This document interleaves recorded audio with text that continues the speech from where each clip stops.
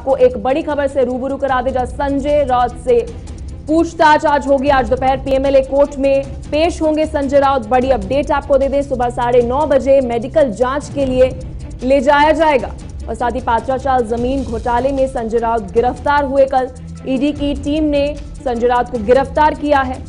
आपको बता दें, कल छापा जिस तरीके से मारा तो उसके बाद ये कार्रवाई हुई तो चलिए आपको बताते हैं क्या है पात्राचाल ज़मीन घोटाला। जानना बेहद ज़रूरी है, क्योंकि पात्राचाल मुंबई के गोरे गाँव में बनी है।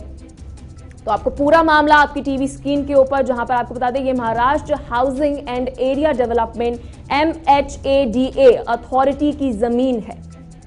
और साथ ही बता दें कि इसमें एक करोड़ का घोटाला होने का आरोप है संजय राउत पर।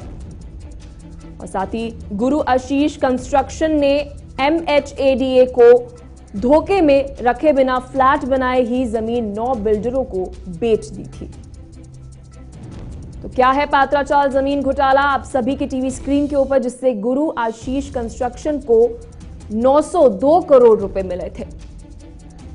संजय राउत की मुश्किलें बढ़ते हुए नज़र आ रही हैं, जहाँ कल ईडी ने उन्हें गिरफ़्तार कर लिया।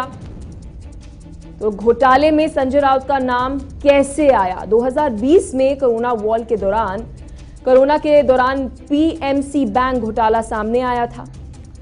तो संजय राउत का नाम कैसे इस घोटाले के बीच में आया? जब इस घोटाले की जाँच हो रही थी, तभी प्रवीण राउत की कंस्ट्रक्शन कंपनी का नाम सामने आया।